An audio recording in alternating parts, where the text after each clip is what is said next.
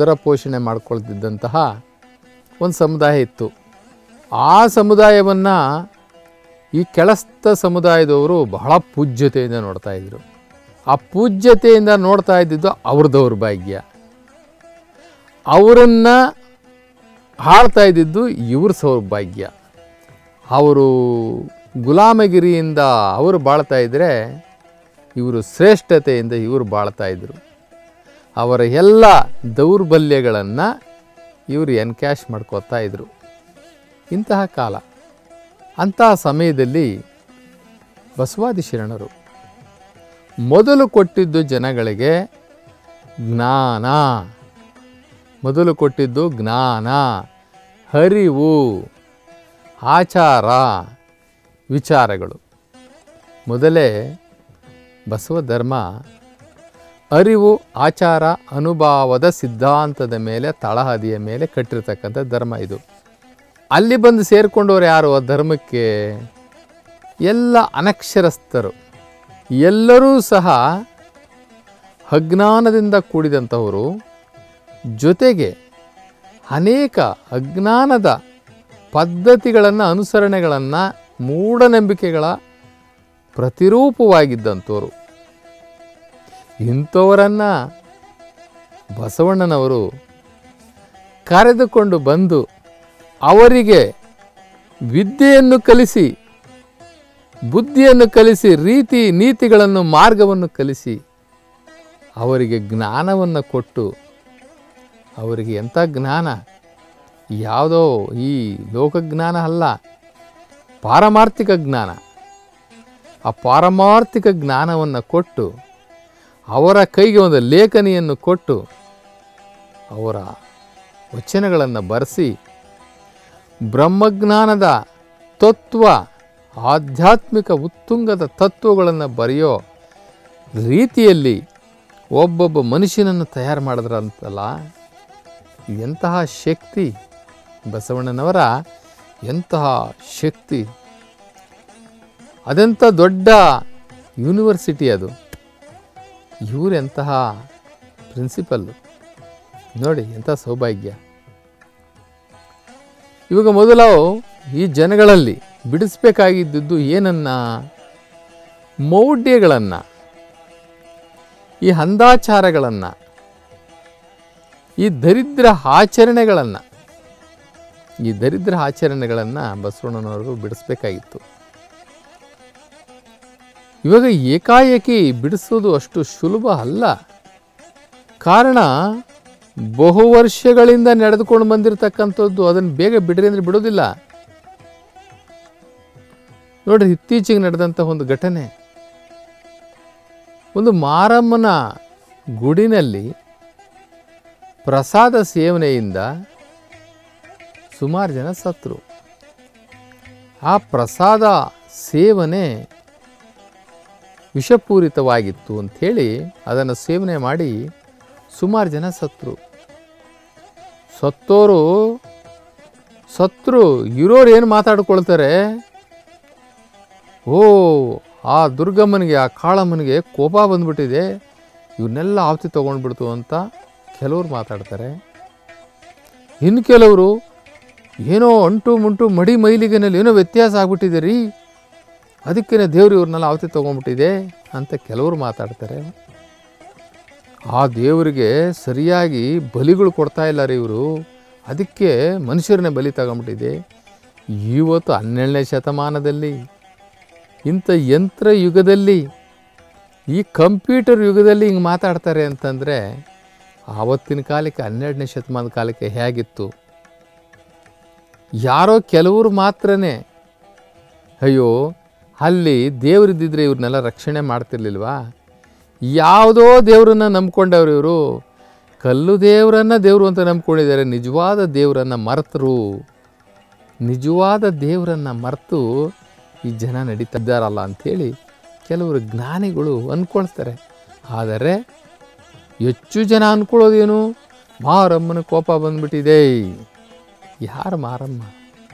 ನಾವು ಮಾಡಿದ್ದು ಗುಡಿನ ನಾವು ಕಟ್ಟಿದ್ದು ಗುಡಿನ, ನಾವು ಕಳೆದಿದ್ದು ಕಲ್ಲನ್ನು, ನಾವು ಕೊಟ್ಟಿದ್ದು ಆ ರೂಪವನ್ನು, ನಾವು ಕೊಟ್ಟಿದ್ದು ನಾಲ್ಕೈದು ಕೈಗಳು, ಆ ಕೈಗಳಿಗೆ ಆಯುಧಗಳು, ಎಲ್ಲ ಕೊಟ್ಟಿದ್ದು ನಾವು. ಕೊನೆಗೆ ಅಡ್ಬೀಳೋರು ನಾವೇ ಕೈ ಮುಗಿಯೋರು ನಾವೇ, ದೋಷಪೂರಿತ, ವಿಷಪೂರಿತವಾದಂಥ ಆಹಾರವನ್ನು ತಯಾರು ಮಾಡಿದ್ದು ನಾವೇ, ತಿಂದಿದ್ದು ನಾವೇ, ಸತ್ತಿದ್ದು ನಾವೇ. ಎಂತಹ ಅಜ್ಞಾನ ಎಂತಹ ಅಜ್ಞಾನ. ಇಲ್ಲಿ ನಮ್ಮ ಶರಣರು ಒಬ್ಬೊಬ್ಬರನ್ನು ತಯಾರು ಮಾಡಿ ಒಬ್ಬೊಬ್ಬರಿಗೂ ಕೂಡ ಜ್ಞಾನವನ್ನು ಕೊಟ್ಟರು ಅರಿವನ್ನು ಕೊಟ್ಟರು ಚಿಂತನೆಯನ್ನು ಕೊಟ್ಟರು ಒಳ್ಳೆಯದು ಕೆಟ್ಟದ್ದನ್ನು ಯೋಚನೆ ಮಾಡಿ ಅರ್ಥ ಮಾಡಿಕೊಳ್ಳುವಂಥ ಬುದ್ಧಿಶಕ್ತಿಯನ್ನು ಕೊಟ್ಟರು ಕೊಟ್ಟ ಮೇಲೆ ಇವರನ್ನೆಲ್ಲ ಚೆಕ್ ಮಾಡಬೇಕಲ್ಲ. ಇವರನ್ನೆಲ್ಲ ಸರಿ ಹೋಗಿದ್ದಾರಾ ಇಲ್ವಾ? ಅಥವಾ ಅನುಭವ ಮಂಟಪ ಅಂತಕ್ಕಂಥ ಮಹಾಮನೆಯಲ್ಲಿ ಸುಮ್ಮನೆ ಪ್ರಸಾದ ಸೇವನೆ ಮಾಡ್ಕೊಂಡು ಓಡಾಡ್ತಾ ಇದ್ದಾರಾ? ಅಥವಾ ಅನುಷ್ಠಾನಗಳನ್ನು ಮಾಡ್ಕೊಂಡಿದ್ದಾರಾ? ಅನ್ನುವಂಥದ್ದನ್ನು ನೋಡಬೇಕಲ್ಲ? ಎಲ್ಲರಿಗೂ ಪರೀಕ್ಷೆಗೆ ಒಳಪಡಿಸ್ತಾರೆ. ಅವ್ರಿಗೆಲ್ಲರಿಗೂ ಹೇಳಿಕೊಡ್ತಾರೆ ಯಾರೊಬ್ಬರೂ ಕೂಡ ಮೂಢನಂಬಿಕೆಗಳನ್ನು ನಂಬಬೇಡ್ರಿ. ಮೊದಲನೇದಾಗಿ ಸೂತಕಗಳನ್ನು ನಂಬಬೇಡ್ರಿ. ಸೂತಕಗಳು ಇದು ಒಂದು ಅನಿಷ್ಟ ಪದ್ಧತಿ. ನಮ್ಮ ದೇ, ನಮ್ಮ ದೇಶದಲ್ಲಿ ಅಂಟ್ಕೊಂಡಿರ್ತಕ್ಕಂಥ ಅನೇಕ ಈ ಜಾಡ್ಯ, ಸಾಮಾಜಿಕ ಜಾಡ್ಯ. ಆ ಸಾಮಾಜಿಕ ಜಾಡ್ಯದಲ್ಲಿ ಈ ಸೂತಕ ಅಂತಕ್ಕಂಥದ್ದು ಕೂಡ ಒಂದು ಅನಿಷ್ಟ ಪದ್ಧತಿ, ಅನಿಷ್ಟ ಜಾಡ್ಯ. ಇಲ್ಲಿ ಅವರನ್ನೆಲ್ಲರನ್ನೂ ಪರೀಕ್ಷೆ ಮಾಡ್ತಾ ಇದ್ದಾರೆ. ನಮ್ಮ ಚನ್ನಬಸವಣ್ಣನವರು ಒಂದು ವಚನದಲ್ಲಿ ಹೇಳ್ತಾರೆ, ಜಾತಿ ಸೂತಕ ಬಿಡದು. ಜನನ ಸೂತಕ ಬಿಡದು, ಪ್ರೇತ ಸೂತಕ ಬಿಡದು, ರಜಸ್ಸೂತಕ ಬಿಡದು, ಎಂಜಲ ಸೂತಕ ಬಿಡದು, ಕುಲ ಸೂತಕ ಇವರ ನೆಂತೆಂದು ಭಕ್ತರೆಂಬೆ ಇಂಥ ಸೂತಕಗಳನ್ನು ಇಟ್ಕೊಂಡಿರ್ತಕ್ಕಂಥವ್ರನ್ನ ನಾವು ಯಾವ ರೀತಿ ಇವರು ಭಕ್ತರು ಅಂತ ಹೇಳಲಿಕ್ಕಾಗುತ್ತರಪ್ಪ? ಹೆಂಗೆ ಇವ್ರನ್ನ ಭಕ್ತರು ಅಂತ ಹೇಳೋಣ? ಇವರ ನೆಂತು ಭಕ್ತರೆಂಬೆ. ಶ್ರೀ ಗುರುಸ್ವಾಮಿ ಶಿಷ್ಯನ ಪೂರ್ವಾಶ್ರಯವ ಕಳೆದು ಅಸ್ತಮಸ್ತಕ ಸಂಯೋಗದಿ ಮಾಡಿ ಉಪದೇಶವನಿತ್ತ ಬಳಿಕ ಕಾಡ್ಗಿಚ್ಚಿನ ಕೈಯಲ್ಲಿ ಕರಡ, ಕರಡವ ಕೊಯ್ದಂತಿರಬೇಕು.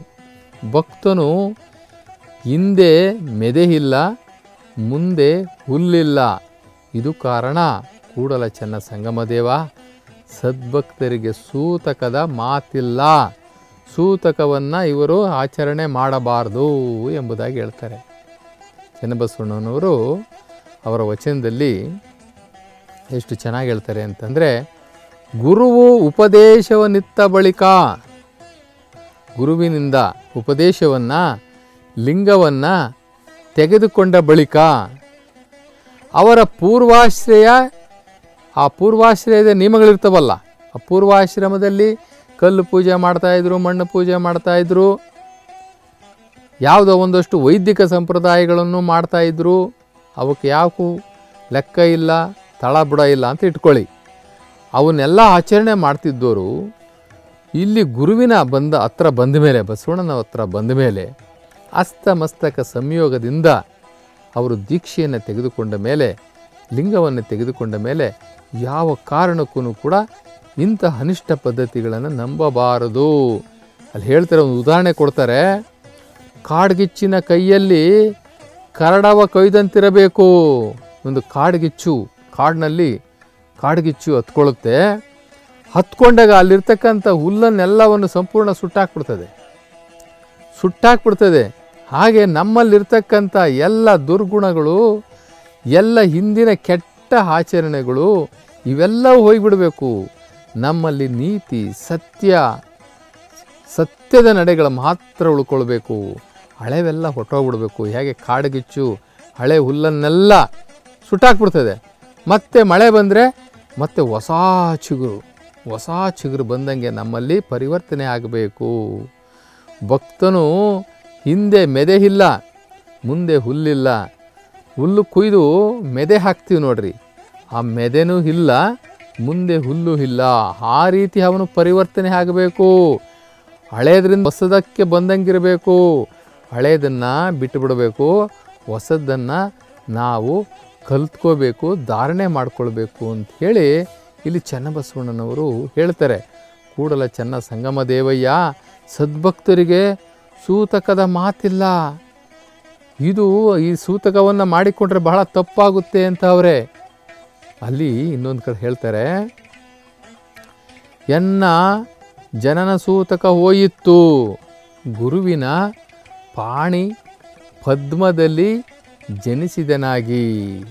ಕಳ್ಕೊಳ್ಳೇಬೇಕು ಕಳ್ಕೊಳ್ಳೇಬೇಕು ಅಂತ ಹೇಳ್ತಾ ಇದ್ದಾರೆ. ಯಾಕೆ ಅಂತಂತಂದರೆ, ಎನ್ನ ಸೂತಕದ ಸೂತಕ ಹೋಗಿತ್ತು ಗುರುವಿನ ಪಾಣಿ ಪದ್ಮದಲ್ಲಿ ಜನಿಸಿದನಾಗಿ.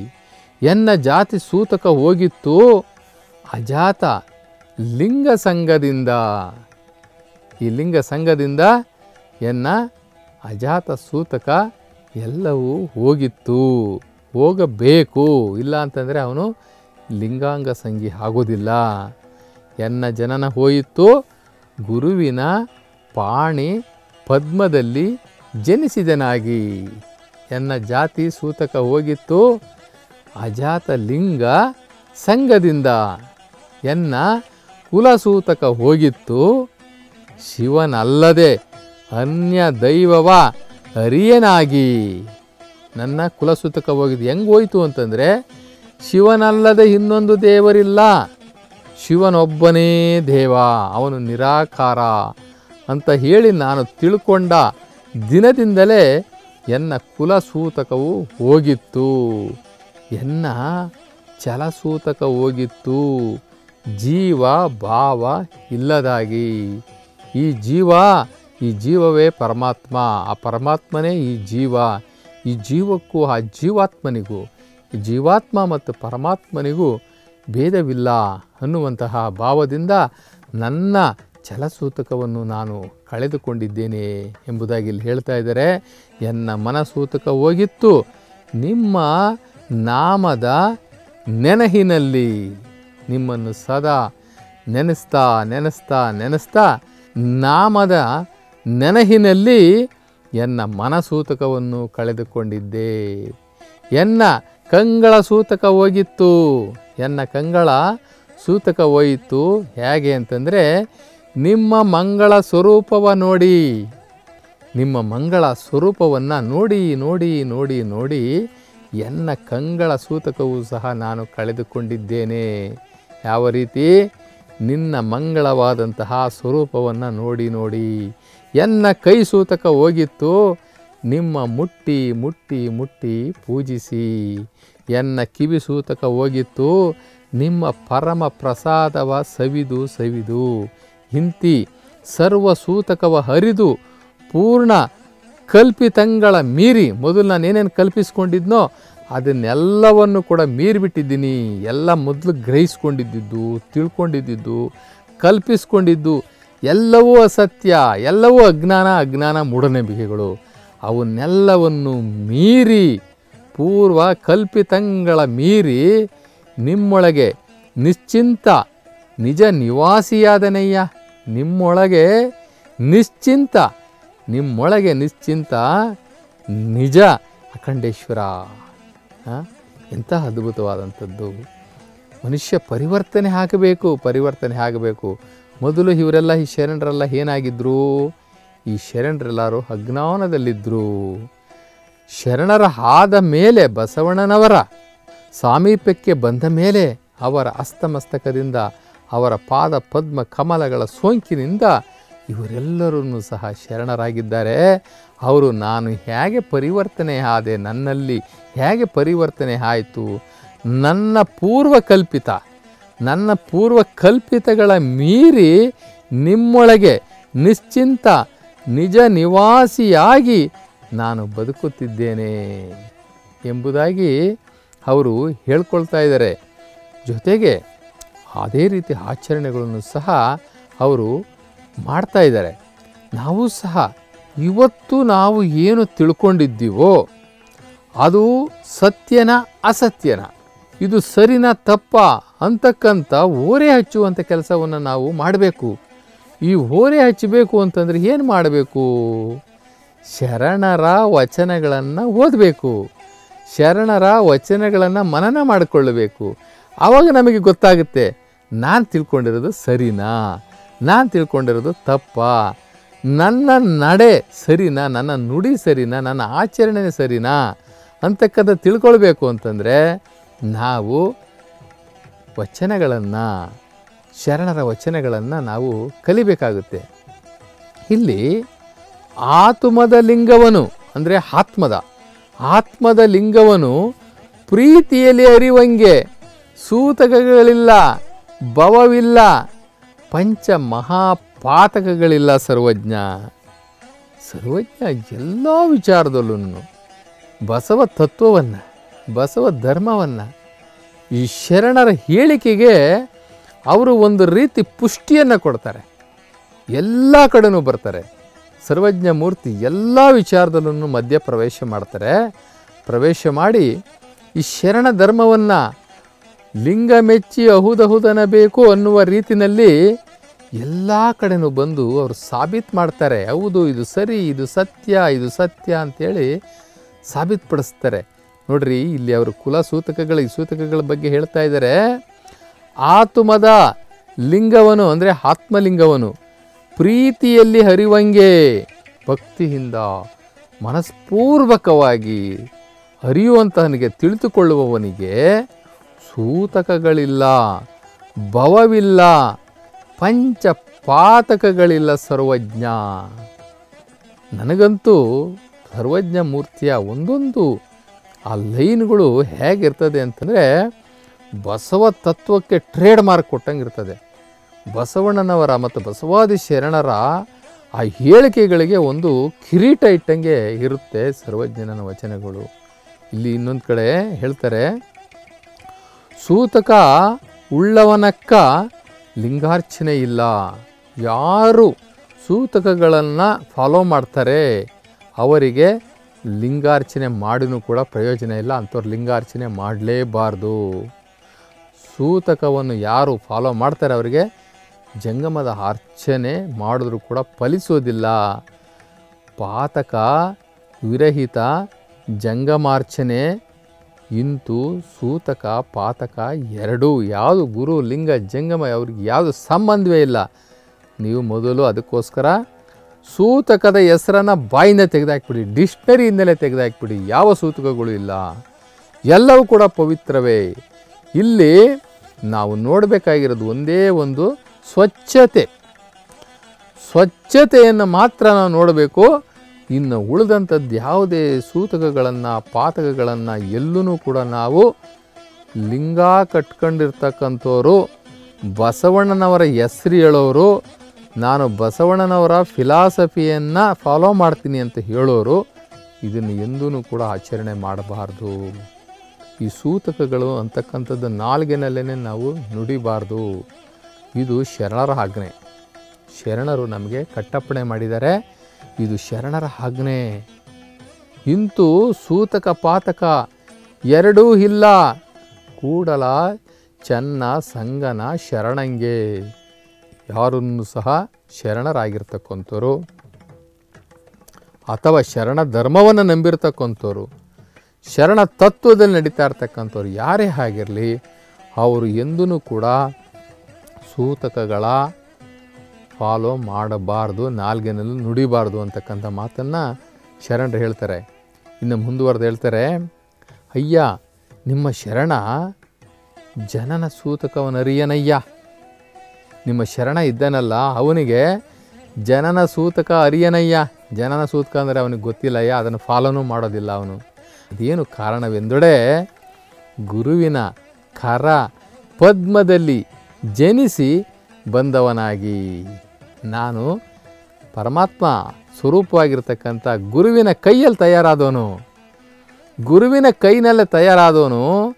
ನಾನೊಬ್ಬ ಜ್ಞಾನವಂತ, ನನ್ನ ಹರಿವು, ಆಚಾರ ಎಲ್ಲವೂ ಕೂಡ ಗುರುವಿನಿಂದ ತಯಾರಾಗಿರೋದ್ರಿಂದ ಇಂತಹ ನೀಚ ಆಚರಣೆಗಳನ್ನು ನಾನು ನಂಬೋದಿಲ್ಲ. ಈ ಸೂತಕಗಳನ್ನು ನಾನು ನಂಬೋದಿಲ್ಲ ಅಂತ ಹೇಳಿಬಿಟ್ಟು ಇಲ್ಲಿ ಶರಣರು ಹೇಳ್ತಾರೆ. ಯಾಕೆ ಅಂತಂದರೆ ಅವರು ಬಹಳ ಹೇಳ್ಕೊಳ್ತಾ ಇದ್ದಾರೆ. ಗುರುವಿನ ಕರ ಪದ್ಮದಲ್ಲಿ ಜನಿಸಿ ಬಂದವನಾಗಿ, ಅಯ್ಯ, ನಿಮ್ಮ ಶರಣರ ಜಾತಿಯ ಸೂತಕವನ್ನು ನಾನು ಅರಿಯುವುದಿಲ್ಲ, ಅಂದರೆ ನಾನು ಫಾಲೋ ಮಾಡಿದಿಲ್ಲ.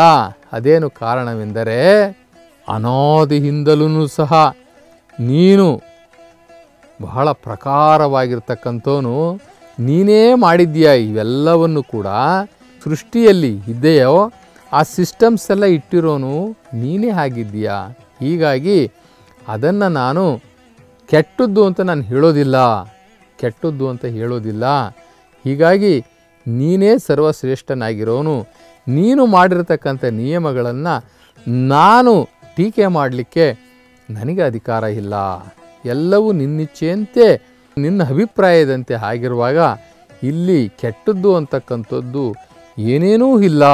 ಈ ಜಗತ್ತಲ್ಲಿ, ಈ ಸೃಷ್ಟಿಯಲ್ಲಿ, ಈ ಸೃಷ್ಟಿ ನಿಯಮದಲ್ಲಿ ನೀನು ಮಾಡಿರ್ತಕ್ಕಂಥವೆಲ್ಲವೂ ಸಹ ಪವಿತ್ರ ಪವಿತ್ರ, ಪವಿತ್ರವಾಗಿರೋದರಿಂದ ನಾನು ಯಾವುದನ್ನು ಕೂಡ ಜರಿಯುವುದಿಲ್ಲ.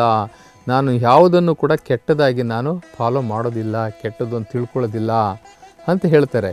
ಇಲ್ಲಿ, ಅಯ್ಯ, ನಿಮ್ಮ ಶರಣ. ಅಯ್ಯ, ನಿಮ್ಮ ಚರಣ ರಜಸೂತಕವನರಿಯನಯ್ಯ. ಅದೇನು ಕಾರಣವೆಂದರೆ ಮಂತ್ರ ಮೂರ್ತಿ. ಪರಮ ಪವಿತ್ರ ತಾನಾಗಿ. ನೀನೇ ಪರಮ ಪವಿತ್ರವಾಗಿದ್ದೀಯಾ? ನೀನು ಮಾಡಿರೋದ್ರಲ್ಲೇ ನಾನೇನಾರ ತಪ್ಪು ಹುಡುಕಿದ್ರೆ ಅದು ಹೇಗೆ ಸಾಧ್ಯ ಆಗುತ್ತೆ? ಅಯ್ಯ, ನಿಮ್ಮ ಶರಣ ಈ ಉಚ್ಚಿಷ್ಟ ಸೂತಕವನರಿಯನಯ್ಯ.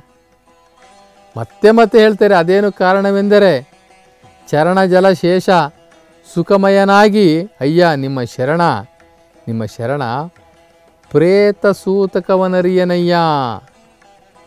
ಗುರು ನಿರಂಜನ ಚನ್ನಬಸವ ಲಿಂಗದಲ್ಲಿ ಲೀಲವಾಗಿಪ್ಪ ನಾವು ಇಂತಹ ಒಂದು ಆಚರಣೆಗಳನ್ನು ನಾವು ಯಾವತ್ತೂ ಆಚರಿಸಬಾರದು ಎಂಬುದಾಗಿ ಬಹಳ ನೇರವಾಗಿ, ಸ್ಪಷ್ಟವಾಗಿ ಈ ಇಂತಹ ಸೂತಕಗಳನ್ನು, ಇಂತಹ ಅನಿಷ್ಟ ಪದ್ಧತಿಗಳನ್ನು ಬಸವಾದಿ ಶರಣರು ಖಂಡತುಂಡವಾಗಿ ವಿರೋಧಿಸಿದ್ದಾರೆ. ಮಡಿಮೈಲಿಗೆ, ಮಡಿವಂತಿಕೆ ಇದರಲ್ಲೇ ಜನಗಳು ಭಾಳ ಆಟ ಆಡಿಬಿಟ್ರು. ಜನಗಳನ್ನು ಬೇರೆಯವರನ್ನು ದಬ್ಬಾಳಿಕೆ ಮಾಡಿಬಿಟ್ರು. ದಬ್ಬಾಳಿಕೆಯನ್ನು ಮಾಡಿ ಅಸ್ಪೃಶ್ಯತೆ ಹೆಸರಿನಲ್ಲಿ ಆಳಿಬಿಟ್ರು. ಒಂದು ಸಮಾಜವನ್ನೇ ಅಸ್ಪೃಶ್ಯ ಸಮಾಜ ಎಂಬುದಾಗಿ ಕಟ್ಟಿದ್ದಲ್ಲದೆ ರಜಸ್ವಿ ಆಗ್ತಕ್ಕಂಥ ಹೆಣ್ಣನ್ನು ಅವಳು ಕಳಂಕಿತೆಯನ್ನು ರೂ ರೂಪದಲ್ಲಿ ಮಾಡಿಬಿಟ್ರು. ಆಕೆಗೆ ಒಂದು ಪಟ್ಟವನ್ನೇ ಕಟ್ಟಿಬಿಟ್ರು ಆಕೆ ಶೂದ್ರಳು ಅನ್ನೋ ರೀತಿಯಲ್ಲಿ ಪಟ್ಟವನ್ನೇ ಕಟ್ಟಿಬಿಟ್ರು ಹೆಣ್ಣು ಶೂದ್ರಳಂತೆ. ಹೆಣ್ಣು ಶೂದ್ರಳಾಗೋದಕ್ಕೆ ಕಾರಣ ಆಕೆ ಮುಟ್ಟು ಹಾಕ್ತಾಳೆ. ಆ ಮುಟ್ಟು ಹಾಕ್ತಾಳೆ ಅನ್ನೋ ಒಂದು ಕಾರಣಕ್ಕೆ ಆಕೆಯನ್ನು ಶೂದ್ರಳು. ಬಸವಣ್ಣನವರ ಒಂದು ಕಥೆನಲ್ಲಿ ಬರ್ತದೆ. ಹೆಣ್ಣು ಶೂದ್ರಳಾದರೆ ನಿನ್ನ ತಾಯಿ ಹೆಣ್ಣಲ್ಲವೇ, ನಿನ್ನನ್ನು ಹೆತ್ತವಳು ಹೆಣ್ಣಲ್ಲವೇ, ನಿನ್ನನ್ನು ಹೆತ್ತವಳು ಶೂದ್ರಳಾದರೆ ನೀನು ಹೆಂಗೆ ಶ್ರೇಷ್ಠಲಾಗಲು ಸಾಧ್ಯ? ನೀನು ಹೆಂಗೆ ಶ್ರೇಷ್ಠಲಾಗಲು ಸಾಧ್ಯ? ನೀನು ಶ್ರೇಷ್ಠ ಆಗೋದಿಲ್ಲಪ್ಪ ನೀನು. ನೀನು ನಿನ್ನ ತಾಯಿ ಶೂದ್ರಳು, ಹೆಣ್ಣು ಶೂದ್ರಳು, ಹೆಣ್ಣು ಮುಟ್ಟು ಹಾಕ್ತಾಳೆ ಅನ್ನುವಂಥ ಒಂದೇ ಕಾರಣಕ್ಕೆ ಶೂದ್ರಳು ಅನ್ನೋದಾದರೆ ನೀನು ಶೂದ್ರಳ ಹೊಟ್ಟೆಯಲ್ಲಿ ಹುಟ್ಟಿ ಬಂದವನು, ನೀನು ಹೇಗೆ ಶ್ರೇಷ್ಠನಾಗ್ತೀಯ ಹೇಳಿ ಹದಿಮೂರನೇ ವಯಸ್ಸಿನಲ್ಲೇ ಬಸವಣ್ಣನವರು ಕೇಳಿದಂಥದ್ದು. ಇಲ್ಲಿ ಇಂಥವೆಲ್ಲ ಬಿಡಬೇಕು. ಗುರು ಕಾರುಣ್ಯ, ವೇದ್ಯವಾದ ಬಳಿಕ ಜನನ ಸೂತಕವಿಲ್ಲ. ಘನ ಲಿಂಗ ಸಂಘದಲ್ಲಿ ಮನವು ನಿವಾಸಿಯಾದ ಬಳಿಕ ಜಾತಿ ಸೂತಕವಿಲ್ಲ. ತತ್ವ ಪರಿಜ್ಞಾನದಿಂ ತನ್ನ ತಾನರಿತ ಬಳಿಕ ಪ್ರೇತ ಸೂತಕವಿಲ್ಲ. ಸರ್ವೇಂದ್ರಿಯಗಳಲ್ಲಿ ಸೌರಾಷ್ಟ್ರ ಸೋಮೇಶ್ವರ ಲಿಂಗ ಸನ್ಮತವಾದ ಬಳಿಕ ಜಗದ ದುಃಖ, ಕರ್ಮ, ಸಂಕಲ್ಪ ವಿಕಲ್ಪವನ್ನಳಿದು ನಾನಾ ಸೂತಕಗಳೇನೂ ಇಲ್ಲ ನೋಡಯ್ಯ. ಎಲ್ಲ ತಿಳ್ಕೊಂಡು ಬಿಟ್ಟರೆ ಈ ಜಗತ್ತು ಸೃಷ್ಟಿಕರ್ತ ಯಾವ ರೀತಿ ಈ ಜಗತ್ತನ್ನು ಸೃಷ್ಟಿ ಮಾಡಿದ್ದಾನೆ? ಈ ವಿಕಾಸ, ಮಾನವ ವಿಕಾಸವನ್ನು ಹೇಗೆ ಮಾಡ್ತಾ ಇದ್ದಾನೆ? ಜೀವಿಗಳ ವಿಕಾಸವನ್ನು ಹೇಗೆ ಮಾಡ್ತಾ ಇದ್ದಾನೆ? ಅದರ ವ್ಯವಸ್ಥೆಗಳು, ಅದರ ಪದ್ಧತಿಗಳು, ಆ ಪರಿಣಾಮಗಳು ಎಲ್ಲವೂ ಕೂಡ ದೇವರಿಗೆ ಬಿಟ್ಟದ್ದು, ದೇವರಿಗೆ ಸಂಬಂಧಪಟ್ಟಿದ್ದು. ಹೀಗಾಗಿ ನಾವು ಸೃಷ್ಟಿಯ ನಿಯಮಗಳನ್ನು ಟೀಕೆ ಮಾಡಲಿಕ್ಕೆ ನಮಗೆ ಅಧಿಕಾರ ಇಲ್ಲ. ಯಾವುದೋ ಒಂದು ಪುರೋಹಿತಶಾಹಿ ವರ್ಗ ಇವನ್ನೆಲ್ಲವನ್ನು ಮುಂದೆ ಇಟ್ಕೊಂಡು ಒಂದಷ್ಟು ಜನಗಳನ್ನು ಶೋಷಣೆ ಮಾಡಿ ಮಾಡಿ ಮಾಡಿ, ದೌರ್ಜನ್ಯ ಮಾಡಿ ಮಾಡಿ ಮಾಡಿ ಮಾಡಿ ಅವರನ್ನು ಅಂಧಕಾರದಲ್ಲಿಟ್ಬಿಟ್ರು ಅಂಧಕಾರದಲ್ಲಿಟ್ಬಿಟ್ರು. ಇಡೀ ಜಗತ್ತಲ್ಲಿ ಇಡೀ ಜಗತ್ತಲ್ಲಿ ಎಷ್ಟು ಕೋಟಿ ಜನಸಂಖ್ಯೆ ಇದೆ. ಆ ಜನಸಂಖ್ಯೆ ಲೆಕ್ಕ ಹಾಕಿದಾಗ ನಮ್ಮ ದೇಶದ ಈ ಮುಟ್ಟು ಮುಡಿಮೈಲಿಗೆಗಳನ್ನು ಫಾಲೋ ಮಾಡ್ತಕ್ಕಂಥ ಜನಸಂಖ್ಯೆ ಹೆಚ್ಚಂದರೆ ಒಂದು ಇಪ್ಪತ್ತೈದು ಪರ್ಸೆಂಟ್ ಇರಬಹುದು. ಆ ಇಪ್ಪತ್ತೈದು ಪರ್ಸೆಂಟು ಜನಕ್ಕೆ ಎಲ್ಲಿಲ್ಲದ ಮುಟ್ಟು, ಎಲ್ಲಿಲ್ಲದ ಮಡಿ, ಎಲ್ಲಿಲ್ಲದ ಮೈಲಿಗೆಗಳು, ಜಗತ್ತಲ್ಲಿ ಯಾರನ್ನೂ ಸಹ ಈ ಮಡಿ ಮೈಲಿಗೆ ಇದನ್ನು ಯಾರೂ ನೋಡೋದಿಲ್ಲ. ಇಂತಹ ಮಡಿ ಮೈಲಿಗೆ ವಿಚಾರ ಯಾರಿಗೂ ಸಹ ಗೊತ್ತಿಲ್ಲ. ಇದು ಎಲ್ಲಿಂದ ಬಂತು? ಇದು ಹೇಗೆ ಬಂತು? ಲಿಂಗಾಂಗಿಗೆ ಜಪ, ತಪ, ಧ್ಯಾನ, ಮೌನ, ಮಡಿ ಮೈಲಿಗೆಗೆ ಶೀಲ, ರಥ, ನೇಮಾದಿಗಳಿಲ್ಲ. ಯಾರು ಎದೆ ಮೇಲೆ ಲಿಂಗ ಕಟ್ಕೊಂಡಿದ್ದಾರೆ? ಯಾರು ಏಕದೇವೋಪಾಸನೆ? ಒಬ್ಬನೇ ನಿರಾಕಾರ ಶಿವನನ್ನು ದೇವರಂತ ನಂಬ್ಕೊಂಡಿದ್ದಾರೆ. ಅವರಿಗೆ ಜಪ ತಪ, ಧ್ಯಾನ, ಮೌನ ಇವೇನೂ ಬೇಕಾಗಿಲ್ಲ. ಮಡಿ ಮೈಲಿಗೆ ಶೀಲವ್ರತ ನೇಮಾದಿಗಳಿಲ್ಲ. ನೇಣಿಸಿ ಕಾಲವ ಕಳೆಯಬೇಡ. ಮಣಿಯನ್ನು ಎಣಿಸಿ ಕಾಲವನ್ನು ಕಳೆಯಬೇಡ. ಕಣಿಯ ಪೂಜಿಸಿ ದಿನವ ಕಳೆಯಬೇಡ. ಎಂಥ ಮಾತು. ಕಣಿಯ ಪೂಜಿಸಿ ದಿನವ ಕಳೆಯಬೇಡ. ಕ್ಷಣವಾದಡೆಯೂ ಆಗಲಿ. ನಿಜದ ನೆನಹೇ ಸಾಕು. ಒಂದೇ ನಿಮಿಷ ಆದ್ರೂ ಸಹ ನಿಜವಾದ ನೆನಹು ಅಂತಂದರೆ ದೇವರು. ಆ ದೇವರನ್ನು ನೆನೆದ್ರೆ ಸಾಕು. ಉಳಿದಿದ್ದೆಲ್ಲ ಬೂಟಾಟಿಕೆಗಳು. ಕ್ಷಣದೊಳಗಣ ಅರ್ಧವಾದರೂ ನಿಜವಾದ ನೆನಹೇ ಸಾಕು. ಬೆಂಕಿಯೊಳಗುಳ್ಳ ಗುಣ ಬಿಸಿ ನೀರೊಳಗುಂಟೆ ಗುಹೇಶ್ವರ. ಇಲ್ಲಿ ಹಲವ ಪ್ರಭುಗಳು ಹೇಳ್ತಾರೆ, ಬೆಂಕಿನೂ ಕೂಡ ಬಿಸಿ ಇರ್ತದೆ. ಬಿಸಿ ನೀರು ಸಹ ಬಿಸಿ ಇರ್ತದೆ. ಆದರೆ ಅದರಲ್ಲಿರೋ ಬಿಸಿ, ಬೆಂಕಿಲಿರ್ತಕ್ಕಂಥ ಬಿಸಿ ಒಂದೇ ಅಂತ ಹೇಳಲಿಕ್ಕಾಗುತ್ತಾ? ಆಗೋದಿಲ್ಲ, ಅದ್ರ ಗುಣನೇ ಬೇರೆ, ಇದ್ರ ಗುಣನೇ ಬೇರೆ. ಇವೆರಡೂ ಬೇರೆ ಬೇರೆ ಗುಣ ಇರ್ತದೆ. ಇಲ್ಲಿ ಯಾವ ಕಾರಣಕ್ಕೂ ಸಹ ಲಿಂಗಾಂಗ ಸಾಮರಸ್ಯ ಹೊಂದಿರತಕ್ಕಂಥವರು ಲಿಂಗಧಾರಿಗಳು, ಬಸವಣ್ಣನವರ ವಾರಸುದಾರರು, ಬಸವಣ್ಣನವರ ಅನುಯಾಯಿಗಳು ಶರಣ ಪರಂಪರೆಯನ್ನು ನಂಬುವವರು, ಏಕದೇವೋಪಾಸನೆಯನ್ನು ಮಾಡುವವರು ಯಾರೂ ಸಹ ಈ ರೀತಿಯ ಈ ದುರಾಚಾರದ ಈ ದುರಾಚಾರದ ನಿಯಮಗಳನ್ನು ನಾವು ಫಾಲೋ ಮಾಡಲೇಬಾರ್ದು. ಯಾವುದೇ ರೀತಿ ಅಂಟು, ಮುಂಟು, ಮಡಿ, ಮೈಲಿಗೆ, ಸೂತಕ, ಜಾತಕ ಈ ಪಾತಕಗಳನ್ನು ನಾವು ಎಂದೆಂದಿಗೂ ಕೂಡ ನಂಬಬಾರ್ದು ಅಂತ ಹೇಳ್ತಾ ಆ ನಿಟ್ಟಿನಲ್ಲಿ ನಾವೊಂದು ದಿಟ್ಟ ನಿರ್ಧಾರವನ್ನು ತೆಗೆದುಕೊಂಡು ನಾವೆಲ್ಲರೂ ಕೂಡ ಇನ್ನು ಮುಂದೆ ಯಾವುದೇ ಮಡಿ ಮೈಲಿಗೆಯನ್ನು ನಾವು ನಂಬದೆ ಸೂತಕಗಳನ್ನು ನಂಬದೆ ನಡೆದುಕೊಳ್ಳುವ ಪ್ರಯತ್ನವನ್ನು ಸಂಕಲ್ಪವನ್ನು ಮಾಡೋಣ ಅಂತ ಹೇಳ್ತಾ ಈ ದಿನದ ಸಂಚಿಕೆಗೆ ವಿರಾಮವನ್ನು ಕೊಡೋಣ. ಶರಣು ಶರಣಾರ್ಥಿ.